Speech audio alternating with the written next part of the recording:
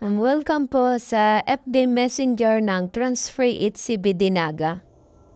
Ang total marketplace listing po namin is passable with total active is 426. Estimated inquiry per day is 8. This week, ang inquiry converted to sales is 13,779 with 5 transaction. Ang top 3 listing ko po ay dry fit po with 4 transaction and 12,320 total amount.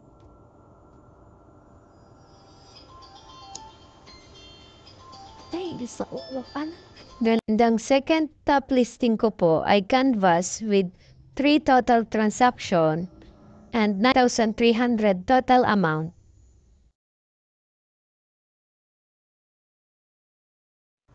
At ang top 3 listing ko po ay white mug with print with 5 transaction and 5,000 total amount.